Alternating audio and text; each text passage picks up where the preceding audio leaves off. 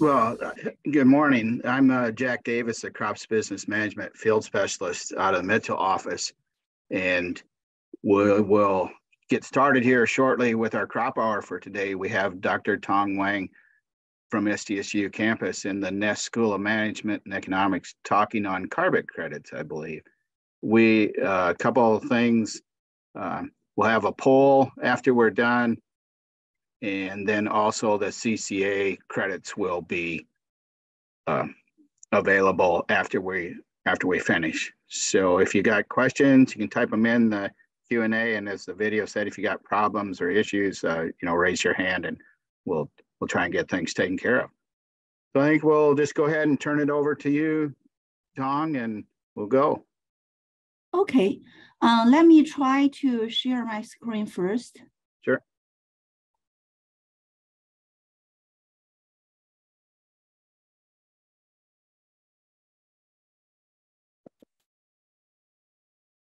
Okay, can you see it moving uh, downwards here? Yes. Okay, all right. So uh, my topic today would be the earn carbon credit through the regenerative farming. Um, so I want to give you an overview of the topics I'm going to cover today first. So I'm going to cover first the carbon markets, uh, which includes different types of carbon market, and the demand side, supply side. And on the supply side, I will introduce the different conservation practices that generate uh, the soil carbon sequestration. And then uh, I will provide some examples of the companies or programs in the carbon markets and uh, give a uh, just a, a demonstration of the different stages involved in the carbon contract process and then uh, different elements of a uh, carbon contract, which is uh, from uh, a summary of uh, different companies and programs. So those elements include the price. I compare the farmer's desirable prices with the current contract offered prices. And there are different uh, eligible practices and uh, the requirement about the historically implemented practices and uh, something about minimum enrollment acres and the requirement about mul multiple program enrollment and land ownership requirement, contract length. And in the end, I'm going to cover some challenges faced by farmers in carbon contract enrollment. So that's, uh, those are the topics to be covered today. So I will uh, first pro provide some pro uh, background about this topic. So the background is there is an increased level of greenhouse gas emission in the atmosphere, which cause more heat being trapped and heat loss being slowed down from the earth to space. So um, the researchers find different um, challenges posed by the high GHG levels in the atmosphere, which include temperature rise, more drought, flooding events, and loss of biodiversity. Those are um, just a, a, few among the list. So um, these years, as concerns towards GHG emission, um, those challenges continue to increase so there are more than 100 countries, including United States, have pledged to achieve non-zero, uh, net zero carbon uh, emissions by to, uh, 2050 or 60. And to achieve such goals, an increasing number of companies, they are pledging to reduce their greenhouse gas emissions as well. However, many cannot cut down their emissions at a preferable rates so uh, there are different um, in uh, markets like inset and offset. So inset means they have to control their own emission, and offset that means that they are uh, looking out for other help. So because they cannot cut down their own emission at preferable rates, they have to look uh, out for other help. So in that way, the carbon markets provides opportunities for farmers to receive carbon payment uh, so the farmers basically, uh, if farmers can sequester carbon in the soil, and then um, the company can purchase those carbon credits from the farmers. So that's how the background works. And there are two types of carbon markets. So the first type is the mandatory one, which is uh, called compliance carbon markets. So which um, this in this market, a limited number of allowances is issued per company per year, referred to as a cap. So those are the regulatory requirements. So each company have a cap so that they cannot exceed that cap. And then over the years, the cap will slowly decrease, which means the company, uh, you know, the limits kind of decrease over the years. So in that way, each com uh, each carbon emission um, companies will reduce their carbon emission over time. So that is how the mandatory carbon market is supposed to work. So the cap keep on reducing and the, uh, the target emission keep on reducing for uh, each carbon emission companies. A different um, regulation system is a voluntary uh, carbon markets. So the voluntary carbon markets, it gives uh, the carbon sequestration co companies. So those are companies who remove or reduce the carbon emissions um, from the atmosphere. So those companies can earn additional revenue and they also provide carbon emitting companies with opportunities to offset their carbon emissions. So the carbon emitting companies have two options. One is uh, reduce their own emission through the inset and then purchase other people's uh, uh, sequestered carbon through the offset market. So to date, they are um, for farmers, the voluntary carbon markets are the only markets that farmers can utilize and profit from the soil carbon sequestration and from those uh, conservation practices. Okay, with this being said, so look at we look at the uh, for the carbon markets, what's the demand side? Uh, first of all, uh, we know that in the carbon market, the commodity, what is a commodity is the right to emit carbon. So this commodity is different from uh, general uh, commodity market. So the like a corn, soybean, those are commodity. But this market, the commodity is the right to emit carbon. And the buyers are the entities who generate carbon emissions. So here is a uh, overlook of the US GHG emissions by sector in 2020. So we can see that um, in this pie, uh, the transportation sector is the highest among all the other sectors. So which account for 27% of the carbon emissions. And the second largest is the electricity sector, which is a quarter of the pie. And then the different industries accounts for about a quarter as well. And then the commercial and residential accounts for 13% of GHG emissions. And the list of all here is agriculture, which account for 11% of GHG emissions. So we might wonder, so how agriculture um, actually contributes to the GHG emissions. So here I have a list of the agricultural practices that produce GHG emissions. So first source, we have three sources of GHG here, the carbon dioxide, the methane, and the nitrous oxide. So we have the uh, carbon dioxide here, uh, we have the uh, farm equipment, um, different farm equipment, which for the purpose of tilling, planting, applying pesticides, fertilizers, harvesting, all those equipments contribute to the carbon dioxide side. And the methane is basically the ruminant animals, which include cattle, bison, sheep, and goats.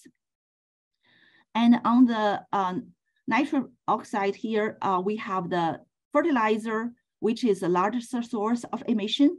And then we have the livestock manure from the confinement operations, which also a big source for this um, GHG emission. So those are three major sources uh, of the GHG emission and how the ag agricultural practices contribute to it. Okay, so with this, we look at the supply side. So the supply side are the sellers who are the entities that remove carbon emission from the air. So the agricultural soil is viewed as a frontier for carbon removal. So we can see that uh, mostly uh, the conventional agricultural practices, they contribute largely to the release of soil carbon into the atmosphere. However, those losses, scientists believe those losses could be resequestered after a long-term adoption of different conservation practices. So here I have a list of the conservation practices that are um, research find those are the practice that sequester carbon. So those are not um, all the list, just are some uh, list that there is um, you know, relatively more evidence about their carbon sequestration impact.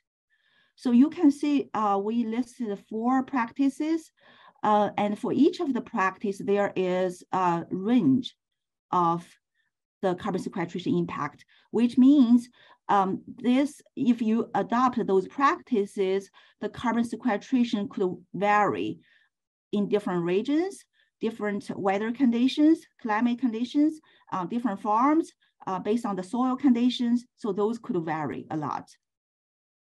So we can see uh, that um, for the uh, cover crops is uh, from uh, 0.19 to 0.49 is compared to uh, the diversified crop rotation. Diversified crop rotation is even higher than the cover crops.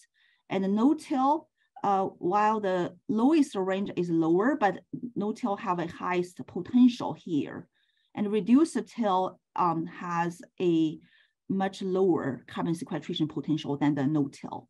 So those are um, just uh, some research results showing that the potential uh, conservation practices that can sequester carbon.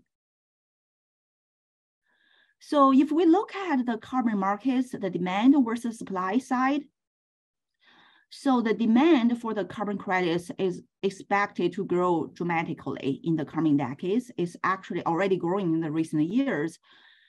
Therefore, in order to meet the demand, it calls also for increased supply of carbon credits from the soil side, uh, the, the supply side.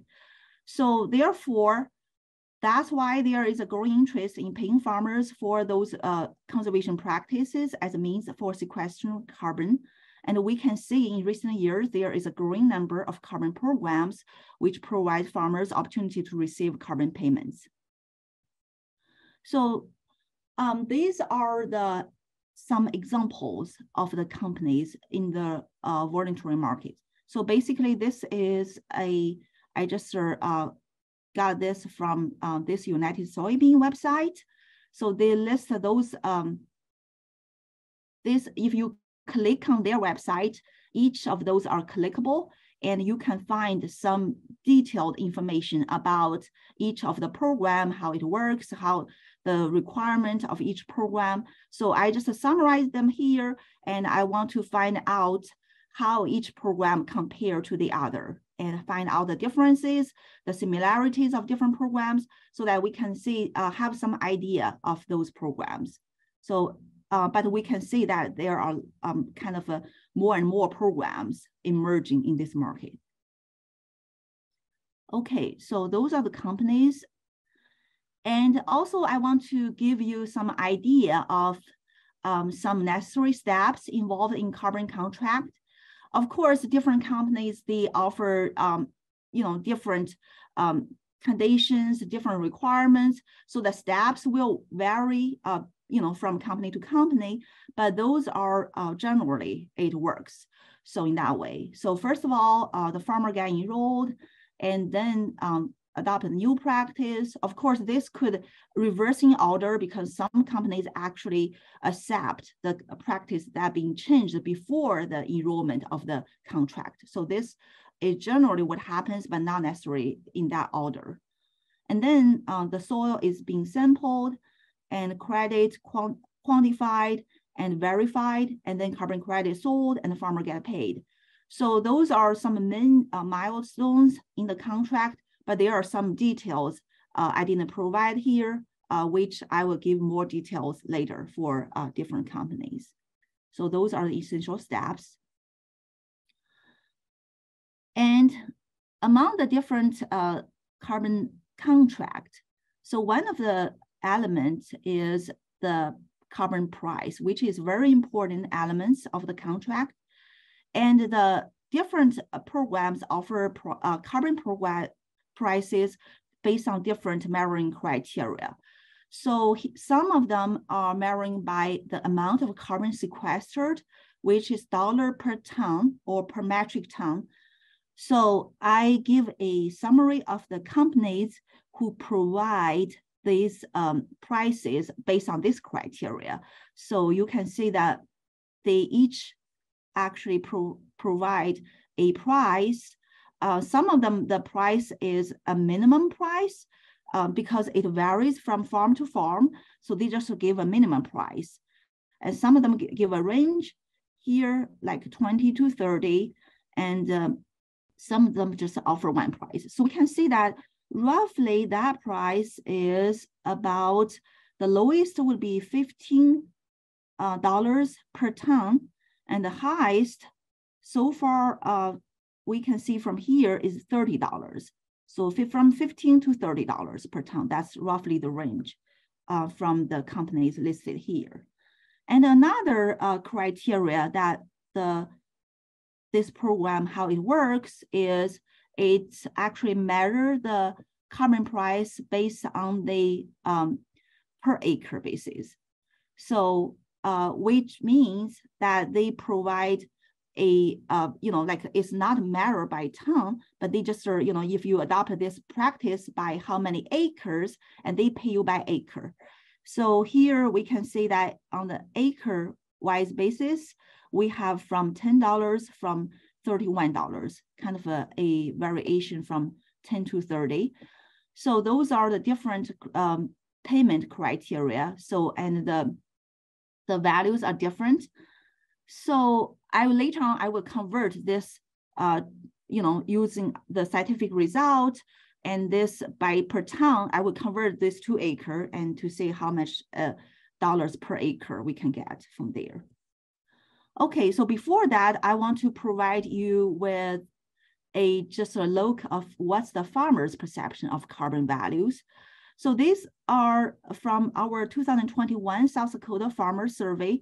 So we, we sent out about 700 survey questionnaires and we received 350 back. So, and we ask farmers, how do you think the carbon, uh, soil carbon value, you know, worth to you? Um, so we give them a range of from zero dollars to one to ten dollars and all the way up to more than fifty dollars. So these among those 350 farmers who answered this question, and we can see that their answers actually is scattered evenly uh, across a range of different scenarios. So in that way, we can see that farmers' opinions towards this carbon credit value actually varies a lot. So some farmers uh, 17% believe it's worth nothing, nothing to them, and 15% think that worth more than $50. Uh, that is not maybe um, how they would like to accept, but some of them just think that just those have zero value. But if you ask them how much um, carbon credit value should be provided to you in order for you to change your practice, then in that way, they would like a much higher value that way. So we can see that um, if we offer only $10 per ton, then only 8% of farmers are willing to change their practices. And then uh, if we offer more, $20, uh, this becomes 12%. And then $30 increase by uh, to 26, 27% and all the way to $50 where we found 50% of farmers, they are willing to change their practices at this value. In, um, so that is basically, we, we think $50 per ton is a value that farmers think that is acceptable to them. So we compare, um, okay, so I will compare the price later, but before that, I would like to show you, this is another survey before, uh, you know, also in 2021, but it's not kind of a South Dakota farmer survey, but I think it's kind of a similar uh, nationwide. So I want to show you this uh, interesting survey result. So in 2031, um, so a survey from Purdue actually asked farmers about whether you're aware of carbon payment opportunities or not. So most farmers, they are not aware of those carbon payment opportunities uh, as of 2001. As you can see, 60% of them are not aware of those opportunities and less than 40% are aware of those opportunities. And then among those people who are aware, so they further ask a question, if you are aware, have you engaged in a discussion on receiving carbon payments? So we can see that among those 40, less than 40% who are aware, only 7.1 uh, who actually engage in a discussion on whether they can receive carbon payments. So this have reduced, uh, you know, like dramatically from this 40%. And then among those people who are currently engaged in the discussion, so they are further asked about whether you have signed a carbon contract or not. So we can see that among those 7.1 people, percent of people who actually engage in this conversation, um, only 1.3 have answered, yes, I have signed a carbon contract, but most of people have not signed a carbon contract. So uh, that shows that as of 2021, um, most of farmers have not actually um, enrolled in any, uh, you know, 99% of farmers have not enrolled in any carbon contract yet. So this um, is another uh, question asked them from the same survey uh, from Purdue University. They asked them about the reasons why, uh, you know, like what's the reasons that prevent you from enrolling in those carbon programs? So the first and you know most farmer uh, answer this reason, reason is about the payment, the payment level offered. So six, 64% agree that the payment level offered actually prevent them from enrolling in this carbon program.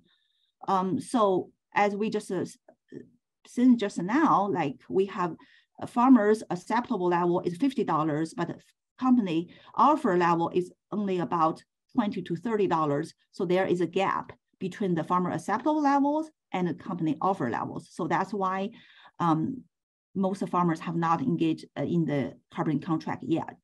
And another um, is the legal liability of contract non-compliance.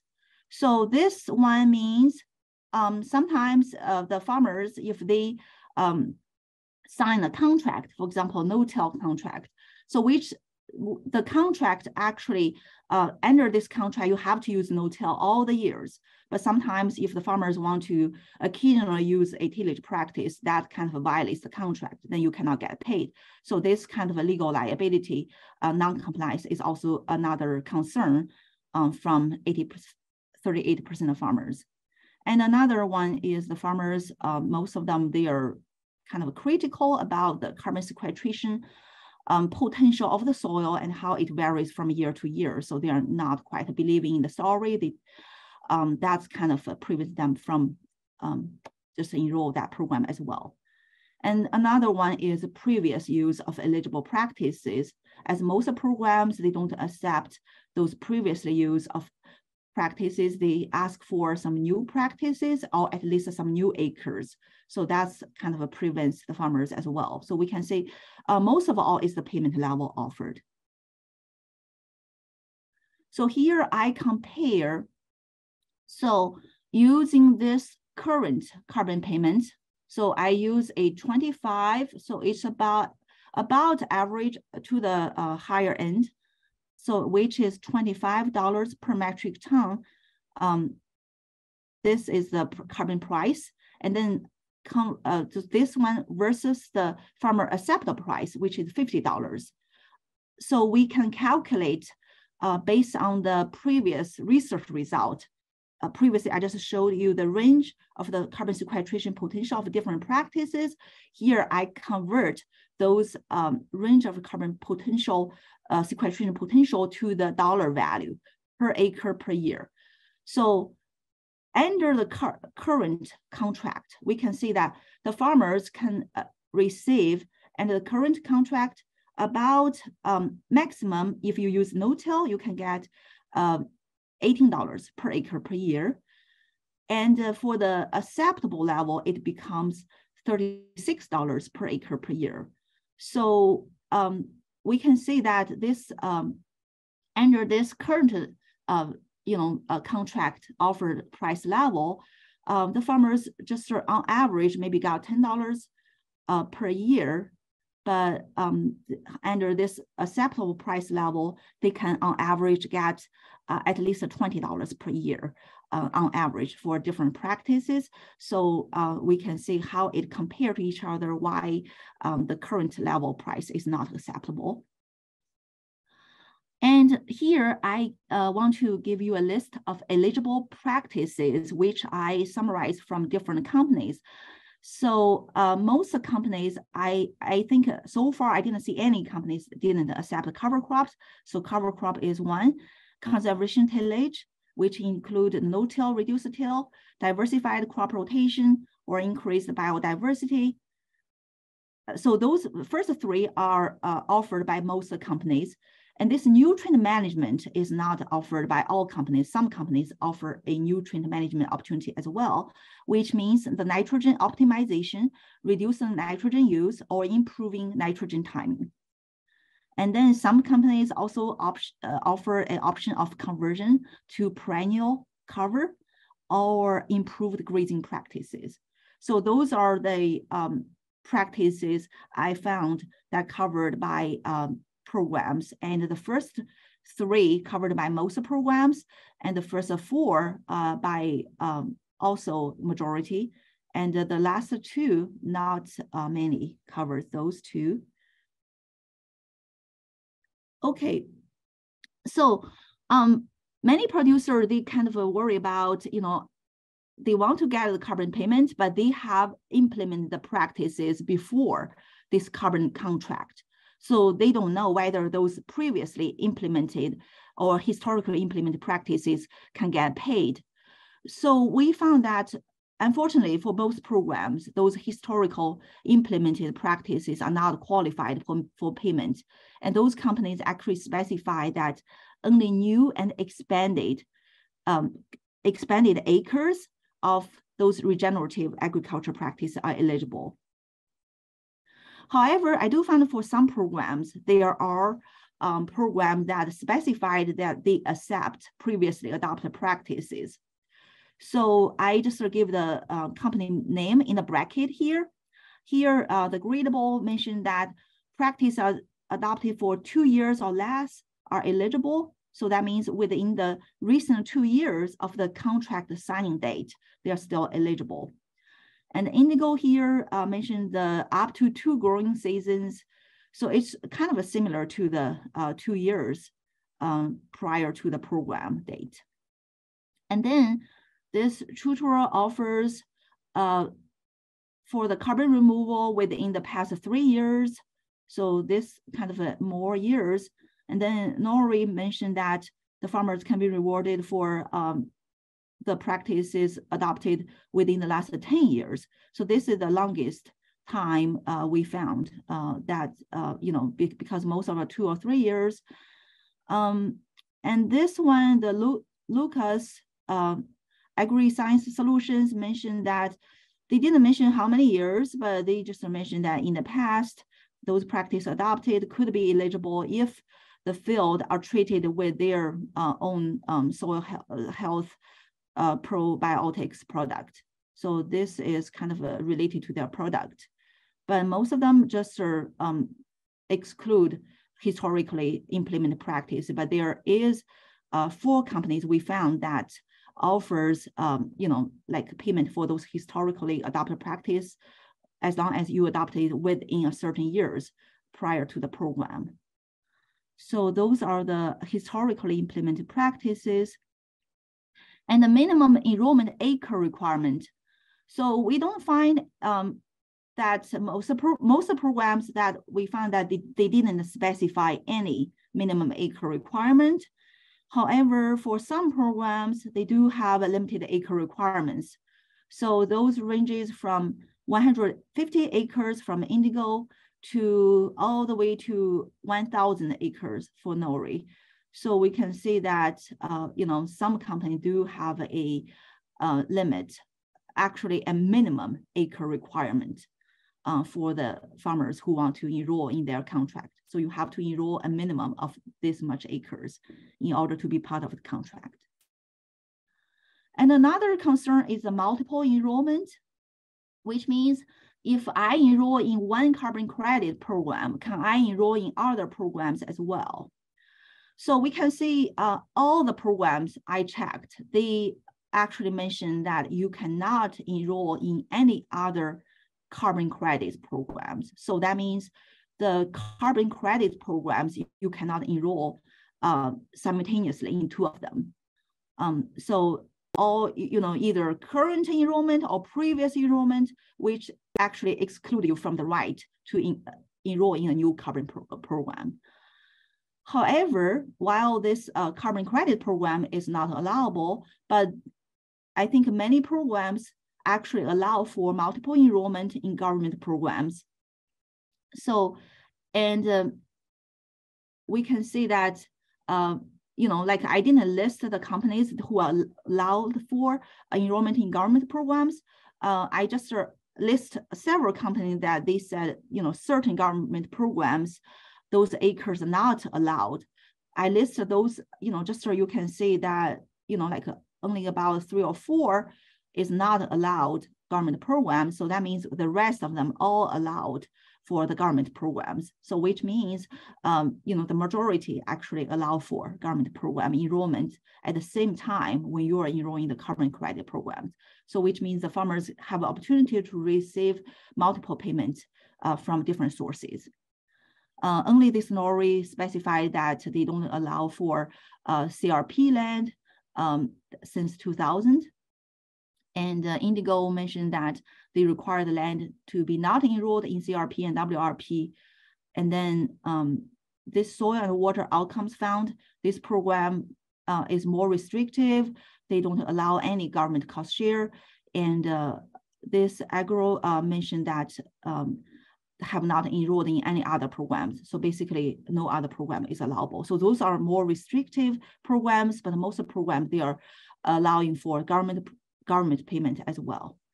So are about multiple enrollment. And for the land ownership requirements, uh, we found that the leased land can be enrolled in carbon programs as well. Um, just uh, um, I found most programs do require permissions from landowner um, for the leased land. And um, some uh, program that they mentioned that they require the landowner permission for the soil carbon, but they don't require that for uh, the nitrogen management, which means optimal nitrogen timing, reduce nitrogen use. Those they don't need uh, the landowner permission. Um, also, some programs mention that that the uh, the participants of the that who lease the land, they can enroll in the current program, but they have to lease the land throughout the full program cycle. In this, in their program, the cycle is four years, which means that you have to lease the land for four years instead of quit it in, in, in the middle. And besides those requirements I mentioned above, Mm, so there are different re other requirements here. I just uh, summarize, it varies a lot across programs. So I summarize them into different categories. So one of them requirement is the historical management data. So some program they require for historical data like this, uh, you know, three or five years or six to 10 years. So they like farmer to provide them with some uh, historical management records uh, in order to be enrolled in this practice in different, uh, I mean, in the common uh, contract. And another uh, requirement is the land use. So uh, some companies require that the farmers have, have been in the crop production, either the farmers or the land have been crop production for three plus years, and there has been no land change during the past 10 years, and the ecosystem have not been cleared in the past 10 years. So those are some requirements about the land use and farmer experience. And some other uh, requirement is about the uh, HEL land, high, highly erodible land and wetland, those uh, conservation compliance have to be met. And then uh, some consumer requirement and support, which means that some companies require you to be there a green consumer and have their account number, and some company, company requires uh, you have to receive basic uh, agronomic support to qualify. So uh, those are the uh, other requirements, but they are um, basically um, can be uh, categorized in those uh, categories. And the contract length is also very important. So here I summarize a table of the contract length across different companies. So you can see that the contract length actually varies a lot from all the way from one year to 10 years. So these are uh, two companies offered it from one year, and most of them, I think, uh, um, actually required for uh, contract length of five years, and also um, almost half required for 10 years. So we can see that five years and 10 years are the majority, and one year is just two companies uh, offered a one-year contract. And for those five years or four-year contract, they give you an option to extend to um, for multiple circles. Like uh, he, here, uh, the four years can be extended to 10 years, five years can be uh, renewed for three different additional contracts for multi, uh, you know, like uh, for different four contracts up to 20 years.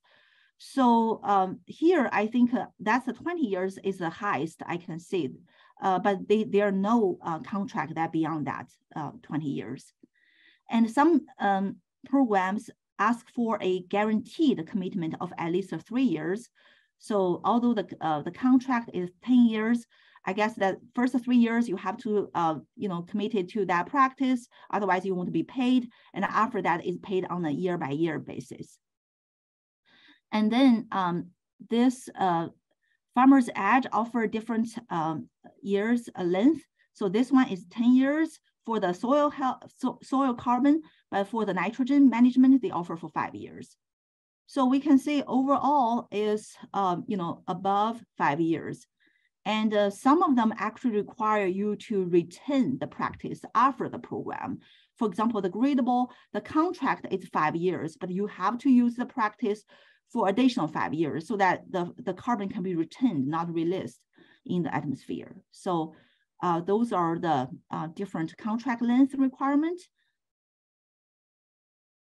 And the challenges.